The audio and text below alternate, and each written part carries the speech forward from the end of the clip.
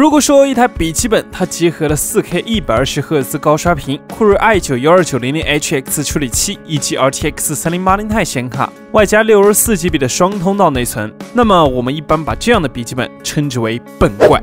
是的，你现在所看到的就是目前拥有最强 CPU 和显卡组合的游戏本——微星泰坦 GT77。作为一台售价高达三万四千九百九十九元的笔记本，其所拥有的航母级性能完全可以说是毋庸置疑。但它仅仅有性能就足够了吗？答案当然是不。所以在今天，超级哥就为大家带来了微星泰坦 GT77 的全面测评，让大家看看在泰坦的神秘面纱下，它究竟是如何发挥的。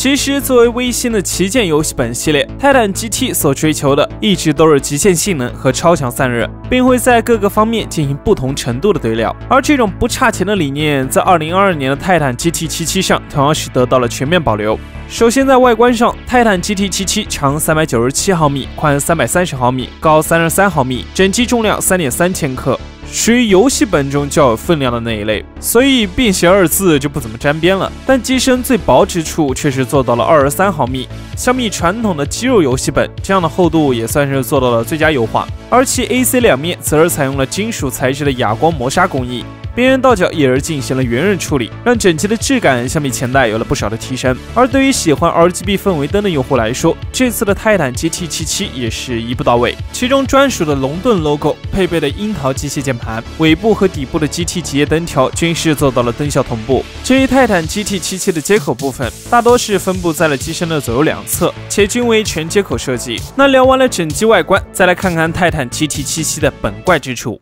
首先是 CPU 方面，其搭载了目前移动端顶级的十二代酷睿 i9-12900HX 处理器，采用了最新的英特尔七制程工艺，并拥有了全新的异构设计，由八个 P 核和八个 E 核构成，共计十六核心，二十四线程，同时也具备了三十兆 B 的智能缓存。然而，其的最高睿频达到了五点零 G 赫兹，最大功耗也来到了一百五十七瓦。如果要与目前的桌面 CPU 相比较的话，这颗 i9-12900HX 的规格已经领先了 i 七幺二七零零 K，同时也几乎能与 i 九幺二九零零 K 相媲美，这样就能够确保游戏性能发挥出顶级水平。接着是显卡方面，微星泰坦 GT77 搭载了全新的 NVIDIA GeForce RTX 3080 Ti 移动显卡，拥有九十六组光栅单元和七千四百二十四个扩大核心，并配备了十六 GB、位宽为二百五十六 bit 的 GDDR6 显存，功耗可达一百七十五瓦。而为了使其性能满血释放，微星泰坦 GT77 也配备了独显输出模式，再搭配微星超增压模式的可超频技术，亦可在不牺牲频率或稳定性的情况下，让 CPU 和 GPU 的总功耗。达到二百五十瓦，以此让性能发挥到极致。当然，这一切的前提就是需要充足的供电和优秀的散热。先说供电，泰坦 GT77 所配备的电源适配器输出规格为一点九五伏，十六点九安，也就是说，理论上可以支持三百二十九点五五瓦的全功率输出。这样一来，应对移动端 i9-12900HX 和 RTX 3080 Ti 完全是不成问题。但就是适配器的这个外观嘛，体型庞大，宛如板砖一样，不准备一个背包确实是不便于携带。而在散热方面，拆开笔记本可以发现，泰坦 GT77 采用了专属的泰坦极寒散热系统，拥有四个无双风扇加六出风口加七热管的超豪华设计，而配备的相变式散热片也让其面积几乎占据了整个空间的三分之一。除此之外，整个散热模块相对靠后，避免了性能全开时笔记本在像暖手宝一样温暖胸罩。至于存储方面，泰坦 GT77 配备了双通道的六十四 GB DDR5 内存，频率为四千八百兆赫兹，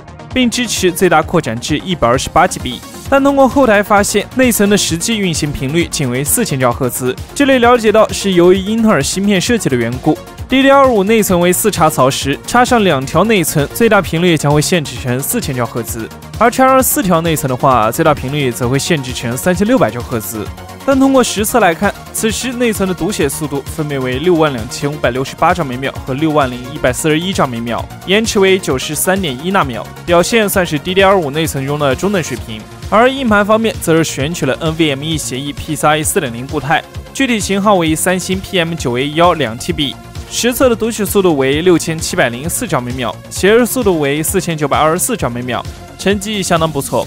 除此之外，泰坦 GT77 还可以说是拓展之王。共计预留了四个 M2 接口，其中之一还支持了 PCIe 5.0协议，直接是做到了占未来的能力。然而最与众不同的是，微星泰坦 GT77 还配备了一块17.3英寸的 4K IPS 右月屏，分辨率可达3840乘2160，并具备了120赫兹的超高刷新率。要知道，目前单就 4K 一百二十赫兹的显示器，售价也已经在三千元往上了。看来为了秀肌肉，泰坦微星 GT77 还真的是不择手段。除此之外，这块屏幕还搭载了 True Color 技术，拥有百分之一百 DCI-P3 广色域，无论是玩游戏还是看视频，整体的观感都算是不错。那说了这么多，下面就来看看这台性能怪兽究竟有多强。首先是针对 i9 12900HX 的单烤测试。单烤 FPU 二十分钟后，CPU 的平均温度为九十四度，最大温度为九十六度，其中 P 核频率三点六九 G 赫兹，E 核频率三点零九 G 赫兹。CPU 最高功耗一百七十八瓦，平均功耗一百二十二瓦。而最后的单烤 GPU RTX 三零八零 i 平均温度六十七度，最高温度六十九度，平均频率一千五百九十兆赫兹，功耗为一百七十五瓦。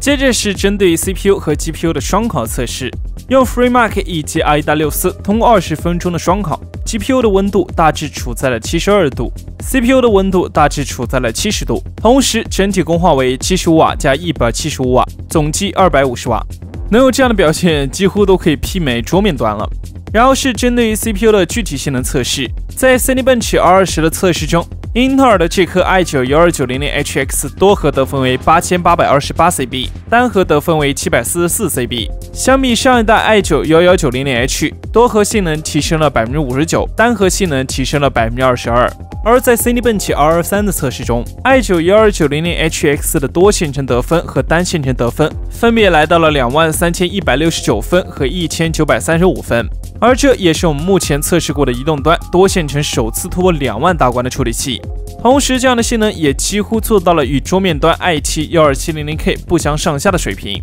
而针对显卡性能的 3DMark 测试，这款 RTX 3080 Ti 在 TimeSpy 中的最终得分为一万三千六百三十一分。相比 RTX 3070，直接是提升了百分之十八；相比 RTX 3070 Ti，提升了百分之十。但这并未算完，打开 MSR Center 软件，再拉个两百兆赫兹的核心频率和显存频率后，这时的跑分直接来到了一万四千三百零四分，基本算是达到了目前移动端显卡理论跑分的天花板。那看完了理论性能测试，最后我们再来看看运行游戏的实际情况。首先是对于网游方面，在《绝地求生》4K 三级制的特效下，平均帧数已经来到了一百八十帧，算是相当流畅了。但如果你嫌帧数不够电竞的话，直接降一档分辨率，帧数便会直达二百三十帧以上。而在 CS:GO 4K 高特效下，平均帧数则来到了远超电竞标准的三百帧，所以即便是电竞高手，这样的帧数也已是完全够用了。接着是大型三 A 游戏，在《荒野大镖客：救赎二》的 4K 全特效中，平均帧数能够达到五十五帧，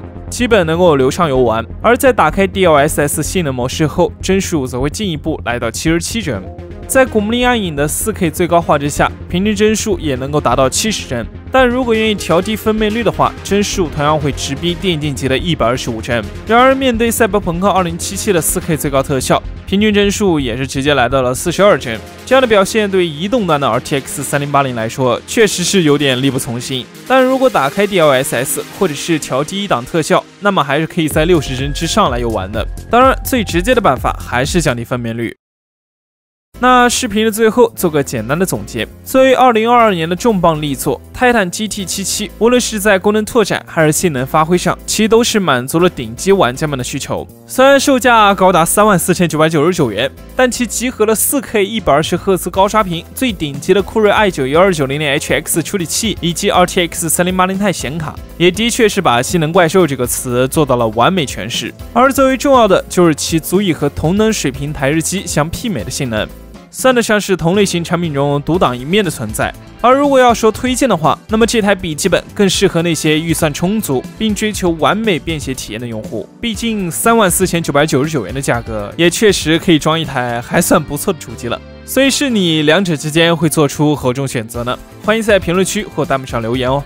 那以上就是本次测评的全部内容了。如果还想了解更多硬件相关的消息和科普知识，记得关注超级课。我是给强，我们下期再见。